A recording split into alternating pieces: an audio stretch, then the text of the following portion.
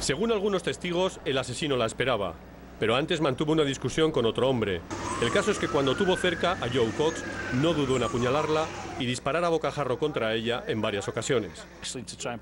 Así lo explica Clark Rodwell, que presenció la trágica escena en una entrevista concedida a la BBC en la que cuenta cómo escuchó al agresor repetir al menos dos veces Britain First, Reino Unido primero, un lema de la ultraderecha que exige la salida del Reino Unido de la Unión Europea. La policía pide, sin embargo, cautela y que no se especule con los motivos del asesinato. Mientras analiza la vivienda del agresor, un hombre de 52 años, identificado como Tony Mea y descrito por los vecinos de Birstall como solitario y callado. Su hermano dice que no es un hombre violento, pero reconoce que tuvo que ser tratado en el pasado por problemas mentales.